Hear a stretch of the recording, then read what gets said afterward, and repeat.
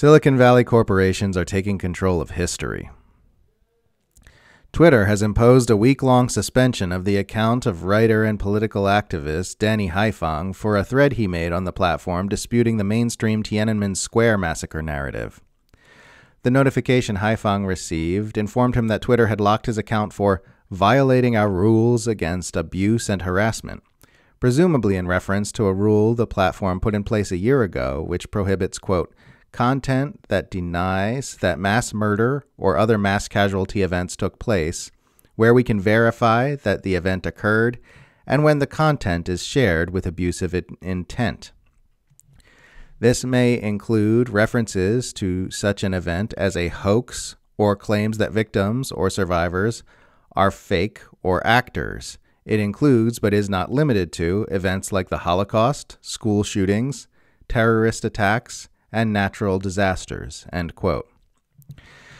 That we are now seeing this rule applied to protect narratives which support the geostrategic interests of the U.S. centralized empire is not in the least surprising. Haiphong is far from the first to dispute the mainstream Western narrative about exactly what happened around Tiananmen Square in June of 1989 as the Soviet Union was crumbling and Washington's temporary Cold War alignment with Beijing was losing its strategic usefulness.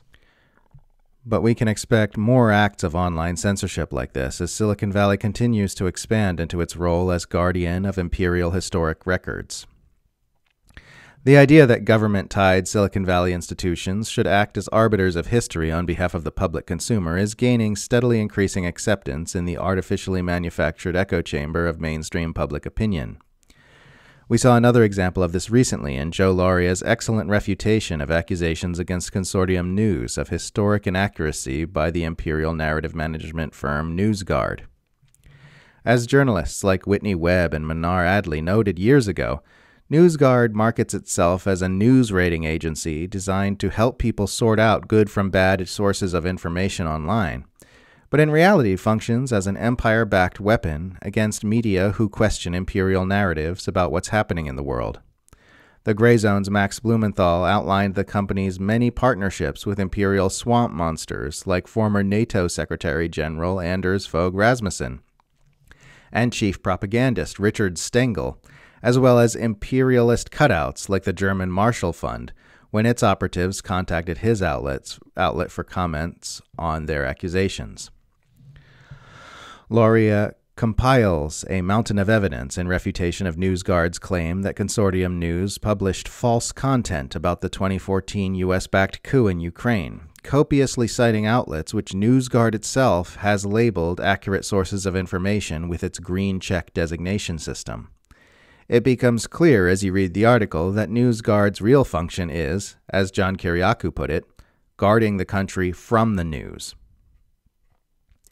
Then you've got Wikipedia, which blacklists the same sites as NewsGuard, and whose operatives run relentless smear campaigns on anti imperialist voices, thereby guaranteeing a view of history that is wildly tilted in the favor of empire authorized narratives. Jimmy Wales, the co founder of Wikipedia, also happens to serve on NewsGuard's advisory board.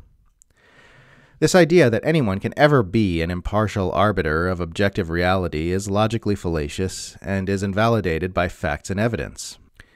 It is clear that imposing regulations on people's efforts to understand world events on the platforms where people have come to congregate to share ideas and information will necessarily lead to an information ecosystem that is skewed to the benefit of whatever power structure is imposing those regulations when that power structure is an alliance of oligarchs and government proxies whose interests are served by the ongoing dominance of the U.S. centralized empire, the information ecosystem will be biased in favor of that empire.